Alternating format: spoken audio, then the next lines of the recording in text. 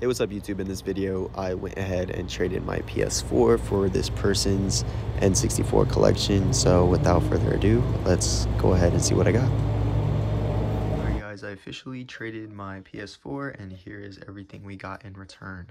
First things first, we have Pokemon Stadium 2. This is like a $60 game. We've got two copies of Mario Kart 64. These are both worth about 40 a pop. We have Super Mario 64, that's like a $30 game. We have Mario Party 3, which is like a $60 game. And then these games right here are worth about like 10-ish dollars a piece. But um, yeah, wasn't bad at all.